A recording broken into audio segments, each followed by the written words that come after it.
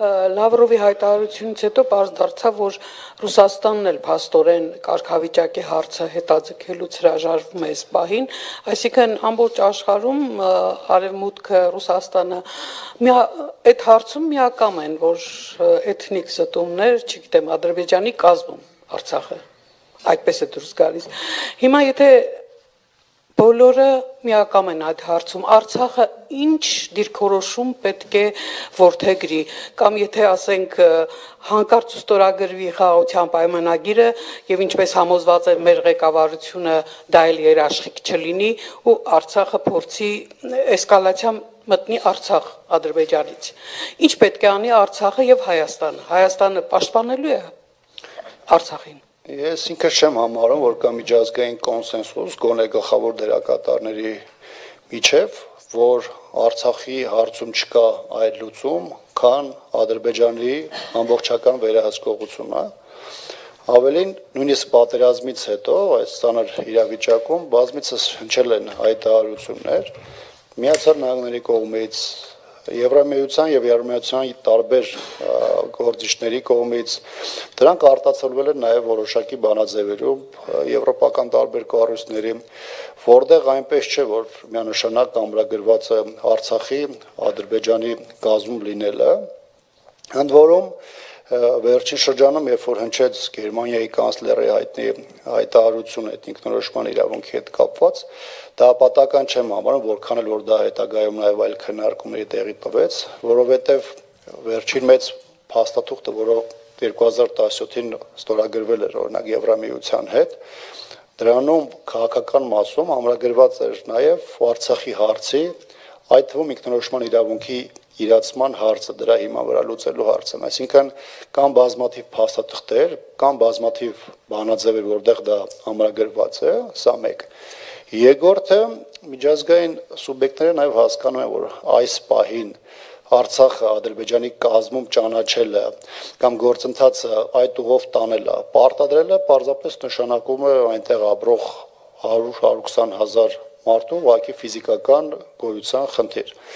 Եվ այս պայմաններում որքան էլ որ բարդ լինի, ես ինքս տեսնում եմ աշխատանքի բավականին մեծ ճակատ, իհարկե ոչ այս իշխանության պարագային, որովհետև ակնհայտորեն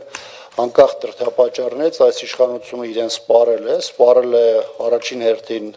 բանակցային գործընթացի եւ արտաքին քաղաքական առումով, Դեռ չեմ խոսում անվտանգության մասին, որը որ այդ կապված այդ սպառումը բավականին վաղ էր տեղի ունեցել, եւ այս պայմաններում մեր գլխավոր խնդիրը այստեղ, բացի Թուրքիա եւ Ադրբեջանի այս տարածաշրջանում լինելուց եւ տարածքային մեծ հավակնություններ ունենալուց, դա Հայաստանի իշխանությունն է, որը կամ չի ուզում, կամ ունակ չէ, ով ոնց ուզում է հասկանալ այս ստեղծված իրավիճակից Հայաստանը պարզապես դուրս բերելու մասով։ Կոնկրետ Ռուսաստանի մասով Ռուսաստանը իր մոտեցումը փորձում է հիմնավորել նրանով վեր, վերջին հայտարարությունները նկատի ունեմ, որ Հայաստանն ու Ադրբեջանը իրանք են որոշում, թե ինչպես են շարժվելու Պրահայի հայտնի գործընթացի հետ կապված անդրադարձեր եղել են, դրանք արտացոլվել են եւ Ռուսաստանի նախագահի եւ արտգործնախարարի հայտարարություններում, եւ նրանք իրենց այդ մոտեցումը փորձում են հիմնավորել Հայաստանի եւ Ադրբեջանի այնտեղ ձեռք բերած պայմանավորվածություններով եւ այն սկզբունքներով, որի հիման վրա դա կայացել է։ Մեծ առումով Հայաստանում, եթե տեղի ունենա բանակցողի փոփոխություն, բավականին լայն դաշտ կստեղծվի հնարավորությունների, որպեսզի գործընթացը վերադարձնել այն հուն, որտեղ այն եղել է։ Իսկ մեծ առումով նվազագույնը գոնե 2007-2018 թվականը, որտեղ աշխատանքային փաստաթղթերում ամրագրված էր բանակցային գործընթացում ինքնորոշման իրավունքի սկզբունքը, այսինքն դա հիմնական միջազգային տերությունների կողմից Ռուսաստանի, Եվրամիության, իդեմս Ֆրանսիայի եւ Միացյալ Նահանգների կողմից ընդունված փաստաթուղթեր, նրանց նաև միջնորդությամբ եւ ընդ որում այդ աշխատանքային փաստաթուղթը ընդունվել էր նաև Ադրբեջանի կողմից եւ դրա հիման վրա էր տանում բանակցային գործընթացը ժամանակը ցույց է տվել որ ինքնորոշման իրավունքը իր կենսունակությունը ունի դրա հետ կա դրա հետ կապված կա նաև գիտակցում, որ ճանապարհը պարզապես դա է, եւ այն իրավիճակը, որով այսօր մենք ենք հայտվել, դրանում մեծ իր կշիռն ու պատասխանատվությունը բնականաբար ունի Հայաստանի իշխանությունը, որը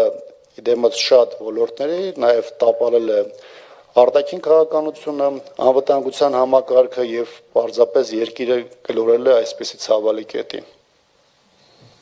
Վերջին կարճ հարց ընտրում եմ։ Պարոն Աբրամյան, դուք ըստեյության ակնարկում եք, որ Մինսկի խմբի շրջանակների, այսպես ասած, պետք է վերադառնանք, բայց հիմա այսպես արևմուտք Ռուսաստան այս լարված հարաբերությունների ֆոնին դուք իսկապես իրատեսական եք համարում, որ եւ Ռուսաստանը եւ արևմուտքը, այսպես ասած, հավաքական կարող են այդ բոլոր կետերի շուրջ այսպես ասած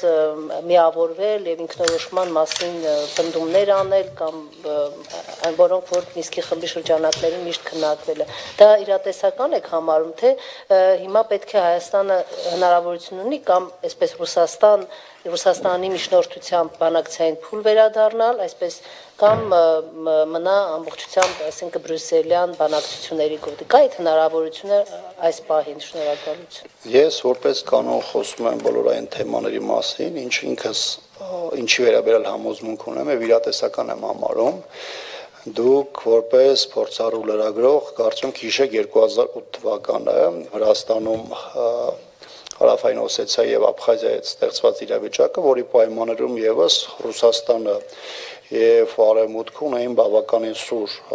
հակասություններ եւ ակտիվ դիմակայության դաշտում են վերջին 10-15 տարիների ընթացքում կամ 20 տարիների ընթացքում բավականին ճակատներ եղել է Արևմուտք Ռուսաստան դիմակայության, որի պայմաններում ֆորմատը որի ներքո ընթացել է Արցախի հարցով բանակցային գործընթացը, որևէ ձևով չի դժել։ Ավելին մշտապես միջնորդ երկրները արձանագրել են, որ անկախ ամեն ինչից կոնկրետ հարավային Կովկասում եւ Արցախի շուրջ ստեղծված իրավիճակի մասով ունեն կոնսենսուս եւ այդ ուղղությամբ աշխատում են։ Տեսեք, համեմատության համար այս փուլը եթե դիտարկենք, երբ որ հանդիպումը լինում օրինակ Բրյուսելում, լինում է Մոսկվայում, Վաշինգտոնում կամ զանգեր են լինում նույն մայրաքաղաքներից, անընդհատ եւ տեղեկատվական դաշտում եւ քաղաքականում անընդհատ քննարկումներ են թե սա ինչ է նշանակում արդյոք գործընթացը գնում է արեմուտքի արդյոք դա վերադարձավ ռուսական միջնորդության դաշտ եւ այլն եւ այլն նախորդ փուլը միջև գոնե 2018 թվականը որևէ կապ չուներ այդ հանդիպումը որ դեր տեղի ունենում օրինակ ռուսաստանի այն ժամանակվա նախագահ մեդվեդևի ժամանակ կար երակոմ ֆորմատ որը բավականին ակտիվ հանդիպումներ էր կազմակերպում, նույն Կազանն էր նաև դրա շրջանակներում եւ այլն, բայց դա որևէ ձևով խանդ դիմադրություն կամ հակասությունների դաշտ չէր բերում օրինակ համանախագահ մյուս երկրներին, Ֆրանսիան եւ Միացյալ Նահանգներին, որովհետեւ գործընթացը տեղի ունենում կոնսենսուսի շրջանակներում եւ անկախանից թե դա որ մայրաքաղաքում էր տեղի ունենում կամ զանգը որտեղից էր հնչում, դա համարվում էր որպես ընդհանուր նպատակների իրացում։ Այնպես որ ես չեմ կարծում, թե անիրատեսական է Ռուսաստան արեմուտք դիմակայության պայմաններում ունենալ ձևաչափ, որի պայմաններում գործընթացը կարելի է վարել եւ հնարավորինս փորձել զերծ պահել էսկալացիոն երևույթներից։